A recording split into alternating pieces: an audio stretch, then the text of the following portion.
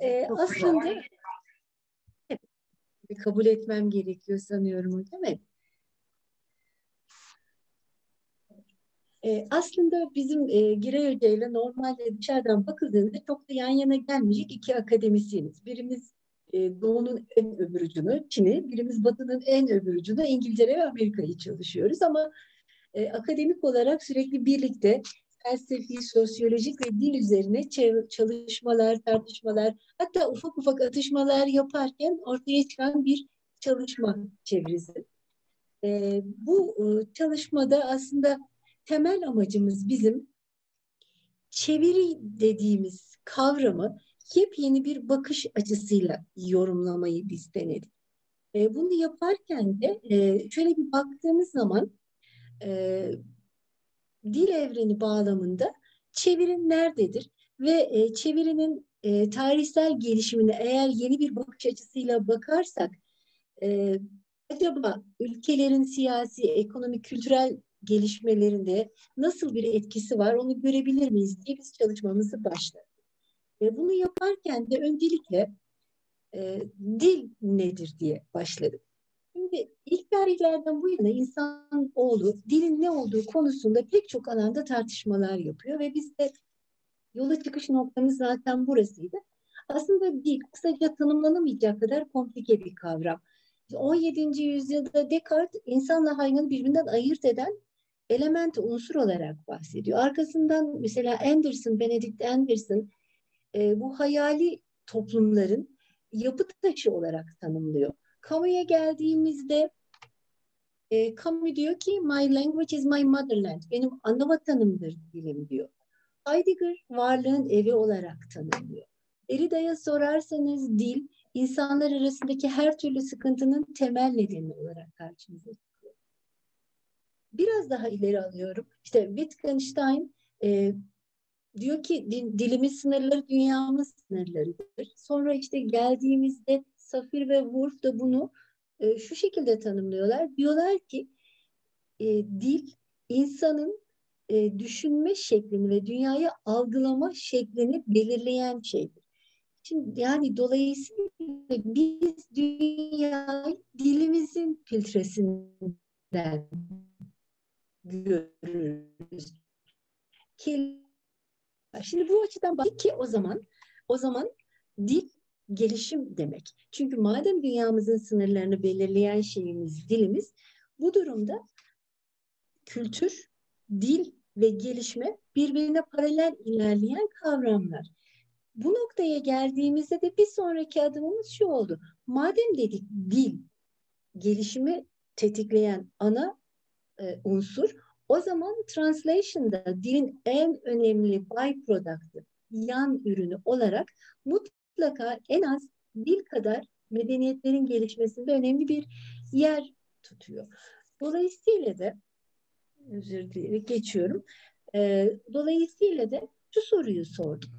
O zaman madem dilin gelişmeyle bu kadar yakından bir ilgisi var, görece olarak e, daha az gelişmiş medeniyetlerle daha fazla gelişmiş medeniyetler arasındaki farkı belirleyen şey de o zaman dil dolayısıyla çevirimidir savunulan yola Bu noktada böyle bir yere geldik. Doğu ve Batı kavramları. Şimdi Doğu ve Batı kavramları genelde e, daha gelişmiş, görece daha e, az gelişmiş toplumları tanımlamak için kullanılıyor ve yüzyıllar boyudur. E, bu Doğu ve Batı birbirine dağıdır. Öteki olarak tanımlamaya, tanımlamaya devam ediyor. Burada mesela Burma'nın e, Garpçılık kitabından bir takım e, alıntılar aldım. Mesela Doğu baktığı zaman batıda ne görüyor? Ruhu çökmüş, ruhsuz, köksüz, e, destructive, zarar verici, yok edici bir güç görüyor. Veya işte açgözlülüğün, kötülüğün e, bir sembolünü görüyor. Veya çok daha sert olarak tanımlıyor. Diyorlar ki içinde hayvanat hayvanlar olmayan bir hayvanat bahçesi batı.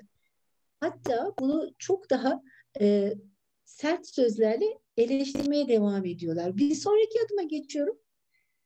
Bu sefer Batı Doğu'ya nasıl bakıyor? Marx'la başlıyor. Edward Said'in oryantalizme başladığı Orientalizm kitabının başlangıcında aldığı alındı. Onlar kendilerini reprezent edemez, e, temsil edemez.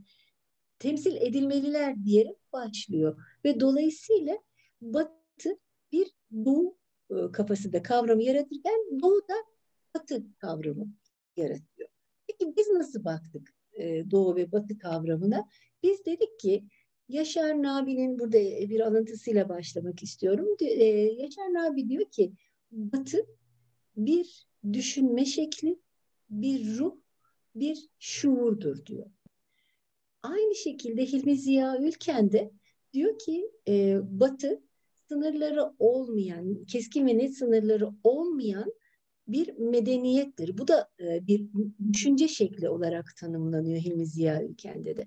Bizim için de e, Batı'yı tanımlarken ya da Doğu'yu tanımlarken şu noktaya geldik. Dedik ki e, bizim için Doğu e, modern kelimesiyle özdeşen Batı'nın dışında kalan her yerdir. Yani Giray Hocam biraz sonra Japonya üzerine, Japonca ve Çince üzerine konuşurken bunun üzerine tekrar duracak. Tekrar ediyorum. Bizim için dedik Doğu modern kavramıyla özdeşen e, yerler dışında kalan her yerdir. E, ve bundan sonra da dedik ki peki o zaman şöyle bir tarihsel olarak e, tra, e, çevirinin gelişimine bakalım. Doğuda ne olmuş, batıda ne olmuş ki bu medeniyetler birbirinden bu kadar yine e, altını çizerek söylüyorum görece farklı yerlere konumlandırılmış. Önce bir doğuya bakmamız gerekiyor.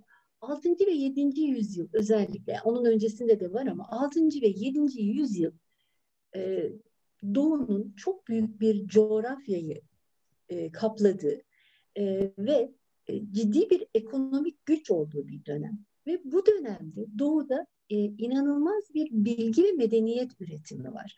E, bu dönemi biz e, özellikle kitabımızda Beytül Hikme yani The House of Wisdom denen e, 8.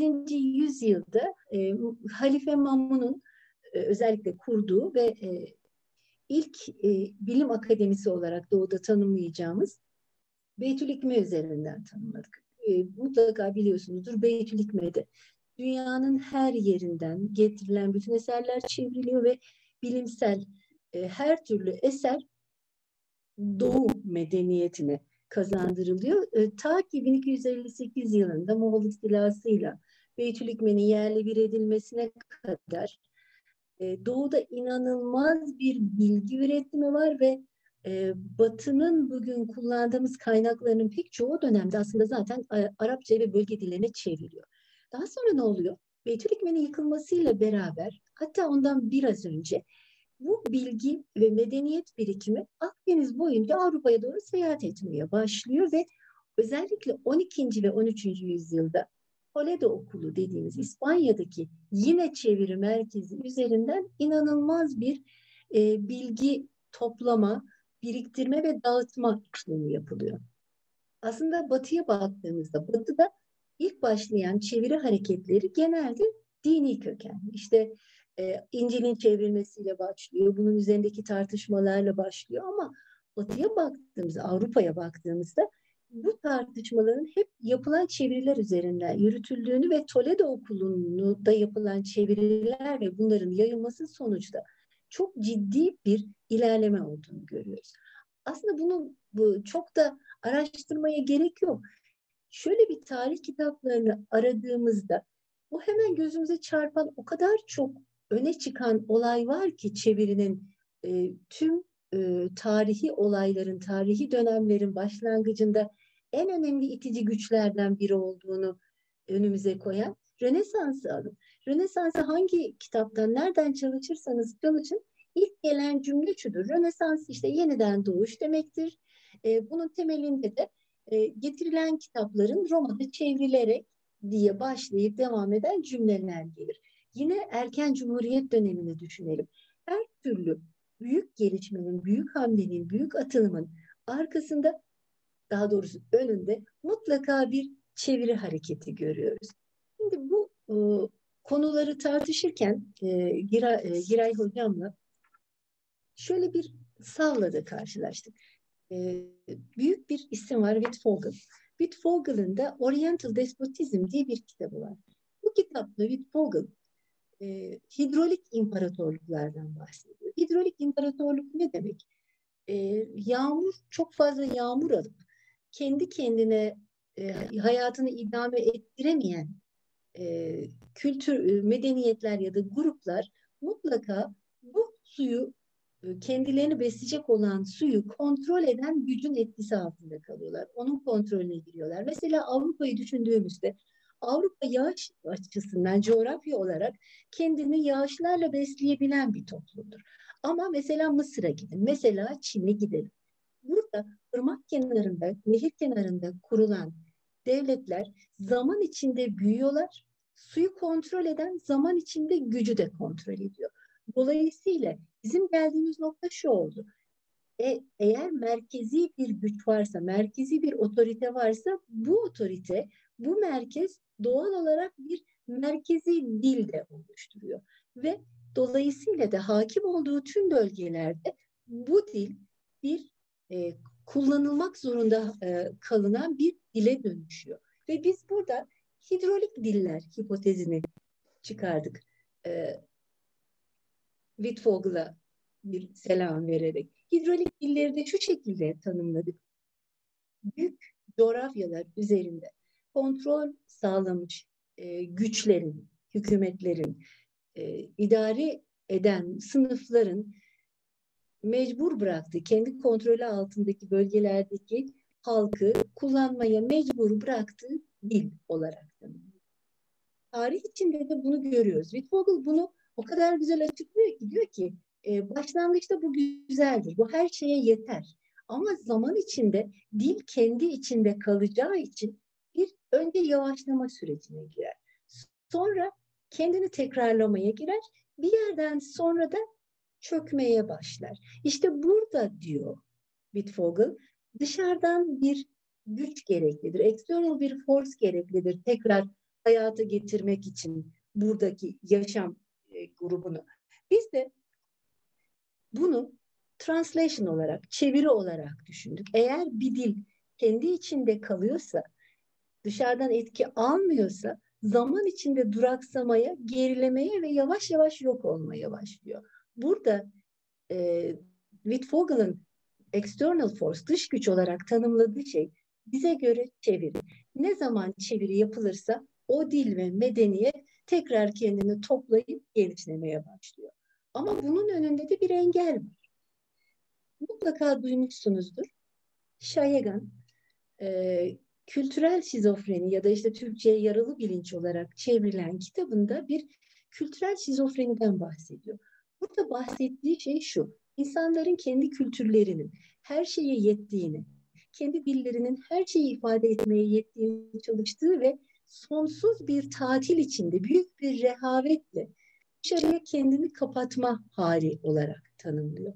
Buradan da yola çıkarak biz yeni bir kavram daha ürettik ve dedik ki dil şizofrenisi. Bu da ne?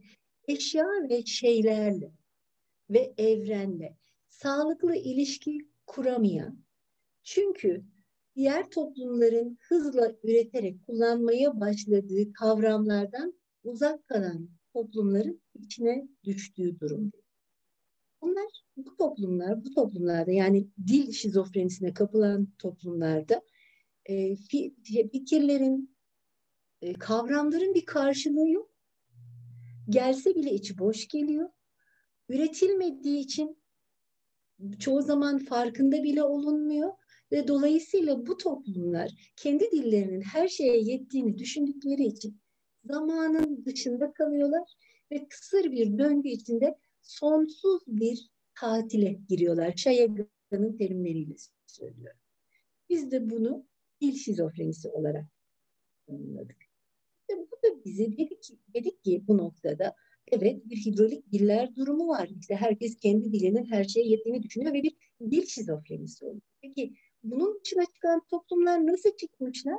O noktada da işte çevirizm fikri ortaya Peki Giray Hocam buradan devam edecek. Sözü Giray Hocam size bırakıyorum ben. Evet hocam çok teşekkür ederim. Ee, isterseniz hocam bir sonraki slayta geçebiliriz. Evet.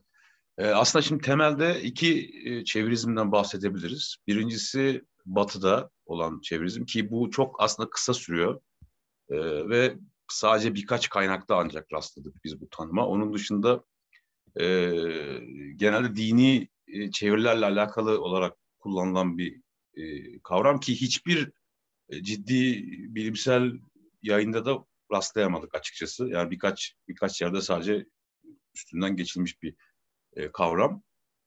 E, asıl önemli olan yani aslında bizim kitabın e, çıkış noktası olarak e, e, öne çıkan Japon trans Japon e, çevirizmi. E, o da işte altta tabii biz onu yani Çincesini biz tabii ikinci karakter Çince'de yok. E, ona biz Fanyi diyoruz. Onyaki Shugi. Yani aslında e, e, Japon e, Japonya üzerinden bir e, okuma yapmaya çalıştık bu kitapta. Temel olarak yani çevirizmi aslında Japon çevirizmiyle e, tanımlamaya çalıştık. Hocam bir sonrakine geçebiliriz. Ah, evet şimdi burada aslında bu bizim açımızdan son derece e, önemli hemen alıntı yapmak istiyorum. E, Esenber Hoca'nın e, kitabından bu hakikaten bizim için çok e, ufuk açıcı oldu. Onu hemen e, direkt olarak okumam lazım çünkü. Onu e, çok pardon. İngilizce bu arada sunum hocam İngilizce hazırladığımız için o, o yüzden biraz şimdi Türkçe'de biraz şey. Tamam zaten herkes bilingual olduğu için. Ha, evet. Hocam hocam eğer hatam varsa bağışlayın elimden geleni yaptım ama dillerim doğru çevirebilmişimdir. Evet şey e, ya aslında burada Sember Hoca'nın e, çok önemli bir e, tespiti Japonya'nın bir e, evrensel bir örnek olabilmesi durumu. Çünkü biliyorsunuz Meiji restorasyondan sonra 1868'den sonra Japonya hakikaten e, batı dışı dünyada tüm diğer örneklerden ayrışan bir noktada. E, o sebeple e, son derece önemli. Ha şurada evet hemen buradan e, birebir alıntı yapıyorum. E, Selçuk Esenbey Hoca'nın kitabından. Batı dünyasında 18. yüzyılda başlamış olan bilimsel devrimin öyküsünü biliyoruz. Doğu için ise böyle bir öykünün yazılması mümkün olmamaktadır. Doğal olarak bu durumun başlıca nedeni Batı dünyası dışındaki toplumlarda henüz benzeri bir bilimsel devrimin olgunlaşmamış olmasıdır diyebiliriz.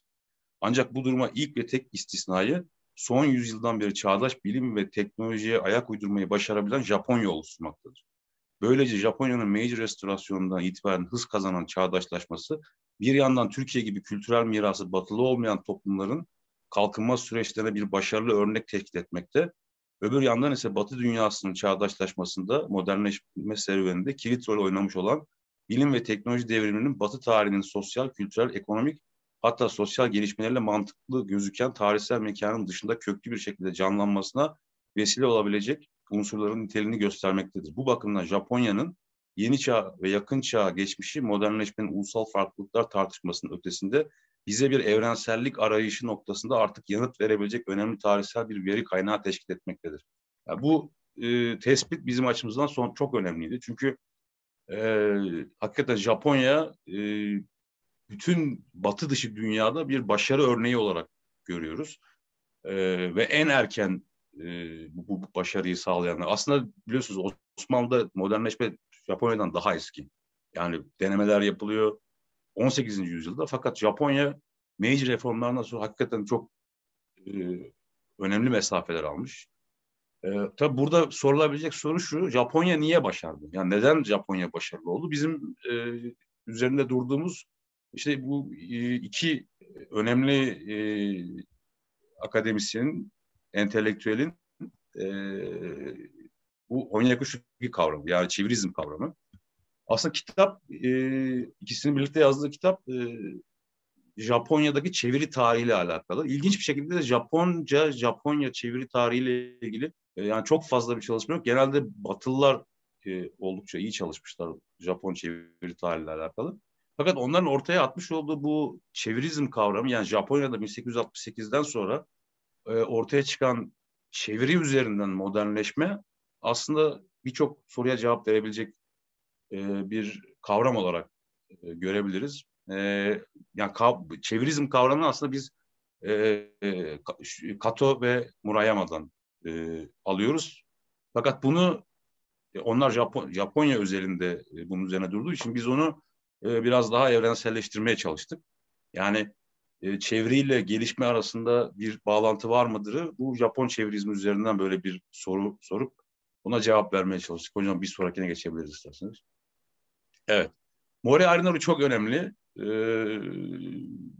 bu da e, tabii şey e, biliyorsunuz Japon eğitiminin modern Japon eğitiminin kurucu babası olarak düşünülüyor. Arinori'nin Arinori'nin aslında ortaya koyduğu şey Japonca ile ilgili. Çünkü Çin'i de ilgilendiren bir tarafı olduğu için e, Arinori Japoncayı tamamen bırakıp İngilizceye geçelim diye bir e, öneri getiriyor. Yani Japon dili artık ihtiyaçlara cevap vermiyor, modernleşmeye cevap vermiyor. Biz İngiliz tamamen İngilizceyi alıp Japonca'nın yerine İngilizceyi ikame edelim diye bir e, fikir öne sürüyor. Hatta öyle enteresan biraz daha ileri gidiyor. İngilizce'deki sorunları da çözmek istiyor. Hatta birkaç mektup da yazmış Amerikalılara. Mesela bu irregular verbs ile ilgili işte hani go, went falan bunlar böyle olmaz diyor. Bunları şey yapalım. Bir düzenli bir hale getirelim. E, tabii bunun karşısında hemen elbette ki bir tartışma ortaya çıkıyor. E, bir sonraki slaytta e, Baba Tatsui buna bir cevap veriyor. Bu arada enteresan olan şey şu. Hem Arinori hem de e, Tatsui'nin bu tartışmaları İngilizce üzerinden yapılıyor. Yani bunu Amerika'da kitaplar yayınlayarak birbirleriyle e, bir tartışma içerisine giriyorlar. Ama Tatsui kabul ediyor Japonca'nın birçok eksiği olduğunu fakat tamamen e, İngilizceyi alıp Japonca'nın yerine getirmenin çok büyük bir zaman kaybı olacağını birincisi, ikincisi e, muhtemelen toplum içinde ayrışmalara sebep olabileceğini düşünüyor.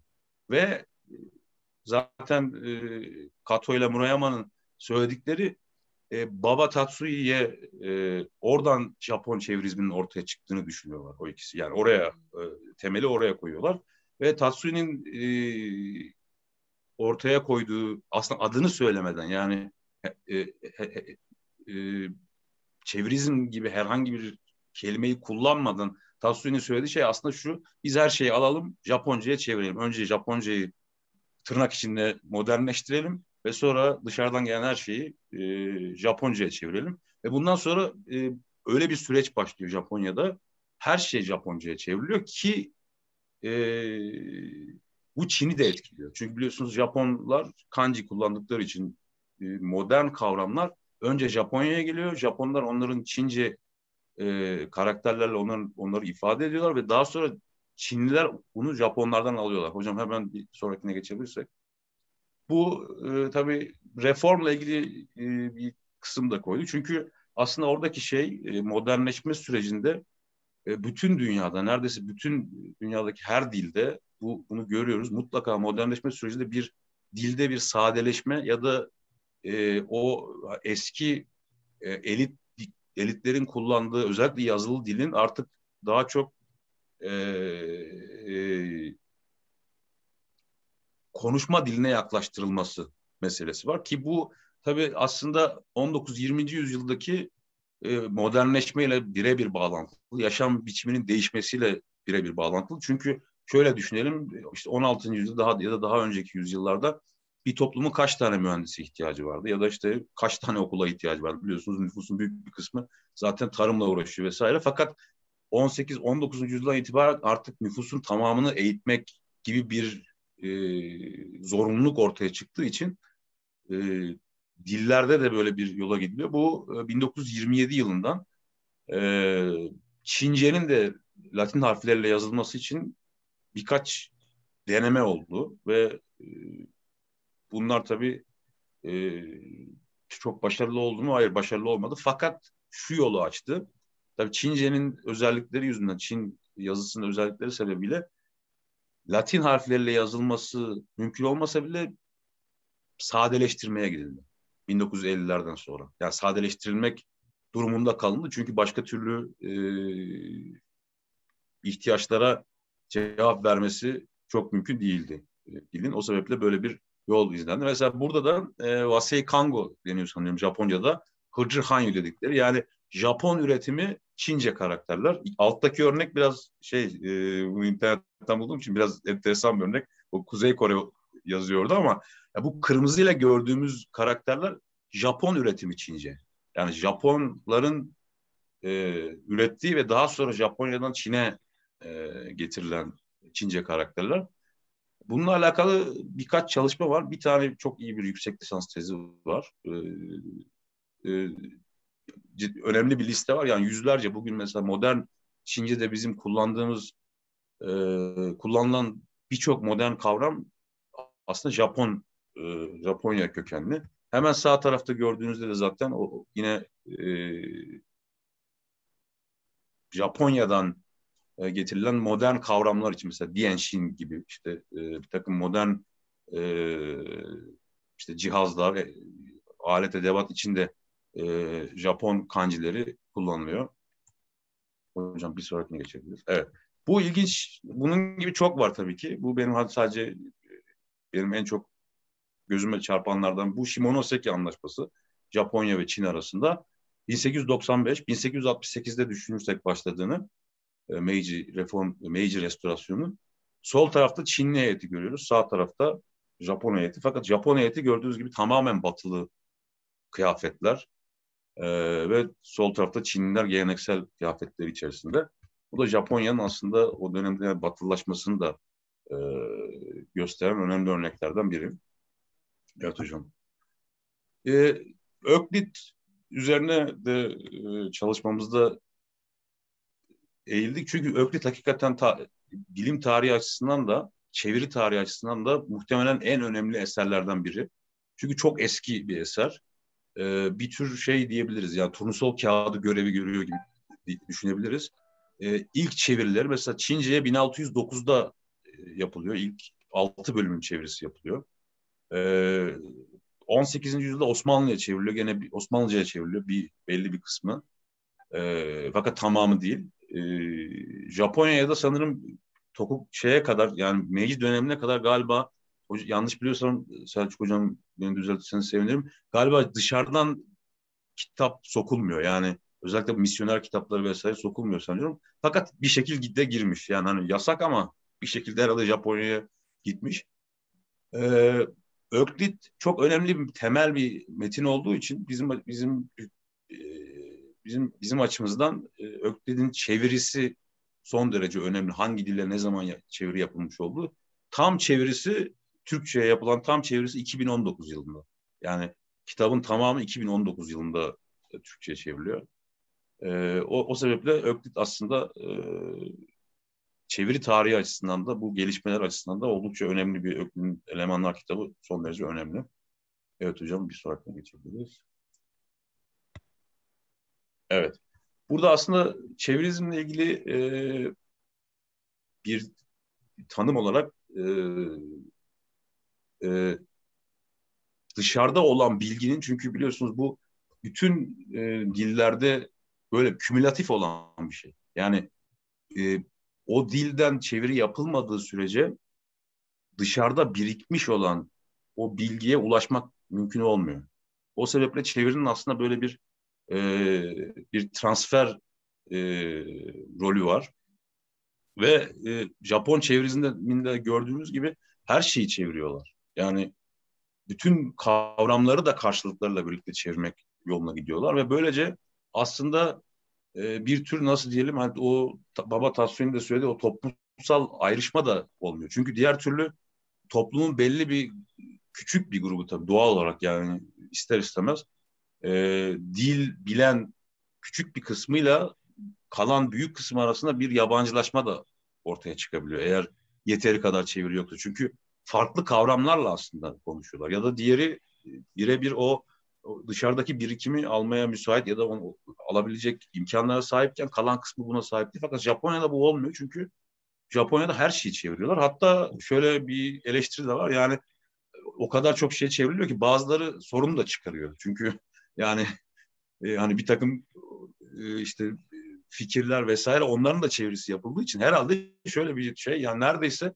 e, buldukları her şeyi Japonca'ya çevirmişler yabancı dillerden. Tabii önce Hollandaca ile başlıyor. Daha sonra İngilizce ile devam ediyor.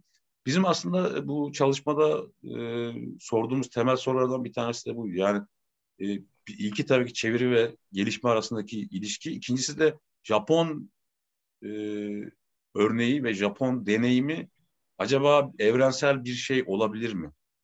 Yani bütün dünyada bu e, e, evrensel bir hipotez haline gelebilir mi? Yani çeviriyle tıpkı Japonlar gibi eğer çeviri yapılırsa bunun arkasından bir gelişme var mıdır? Ki bu bizden tabii daha önce işte Hilmi Ziya Ülken ve diğerlerinin de zaten aslında e, ortaya koydukları şey bu tabii ama çevirizm olarak bir e, kavramsallaştırma tabii ilk defa şey yapıyor. Yani Baba Tatsu'yu herhalde farkında olmadan yapıyor aslında ama asıl ismi koyanlar şey Murayama ve Kato Shuichi.